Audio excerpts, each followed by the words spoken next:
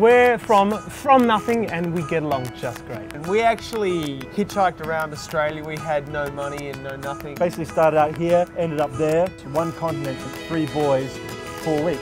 Like maths. One underwear, three different smells. I'm, I'm oh, sorry. I don't want to bring these I'm things. sorry, I'm sorry, I'm sorry. What would you say the, the favourite bit of the whole journey was?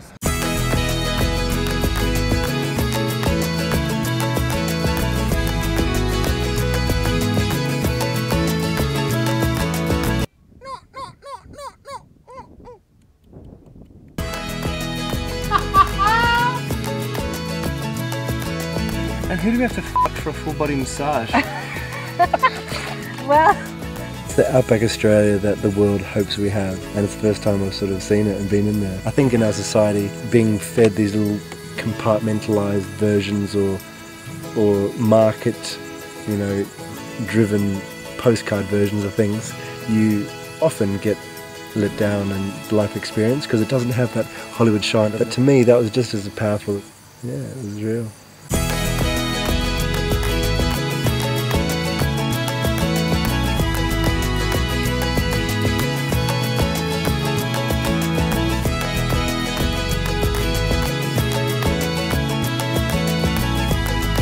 We wanted to see if experience alone is what we should be chasing in life, not money and so on and so forth. All these things that we kind of can obsess over. So much richness lies in experience, and you don't need cash for that. All you just need is the uh, the intention.